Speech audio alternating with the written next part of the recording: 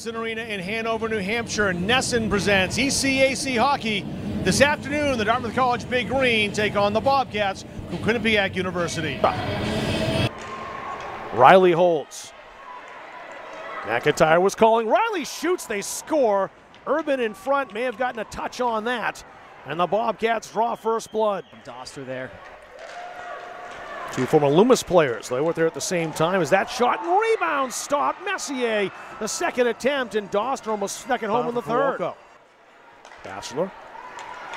Padosh trying the diagonal pass, got it all the way through. Fuoco's going to goal and tipped it over. Oh, the pass was there from Callie Dixon. Fuoco. That's Stamper. Almost had her pocket picked, though, by McIntyre. Centering feed, it's loose. Trying to stuff that home was Mesder, and a save by Andrews. Over a stick. Now played out. Look out. LaMarche by herself. LaMarche in. Scores. Didn't get the shot she wanted, but she got enough wood and it trickled by. And it's when 2 she's nothing. in that butterfly, that six foot frame looks mighty imposing. King, nifty move. King shoots. Glove save. She tries again and scores. Annie King, her first of the season from a tough angle, brings the big green back by one. And the dads are certainly going to love that. Five and a half minutes to go. We talked about how important these next few shifts were going to be, and the big. Steigoff.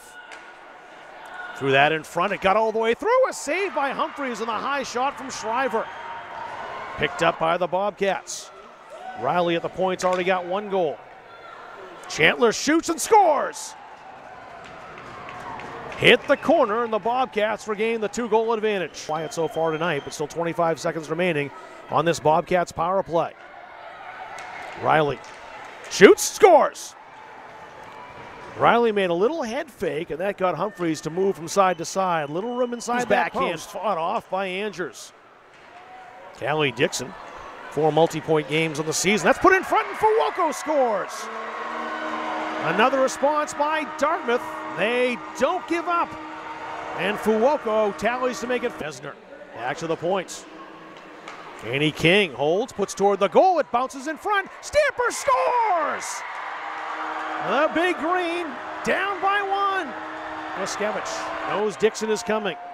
Fires it. Schryver, 12 seconds. Shoots for the empty net and scores. Jess Schryver's eighth of the season by Andrews. She'll drop it to keep the clock rolling, and that'll do it. Very entertaining afternoon, capping off a fun weekend here at the Thompson Arena. Big Green tied a ranked team last night as they drew level with number 11 Princeton. Couldn't quite do that today today against the Bobcats. Quinnipiac winning 5 3, but a good effort for the Big Green. And again, you see the power of this very talented Quinnipiac.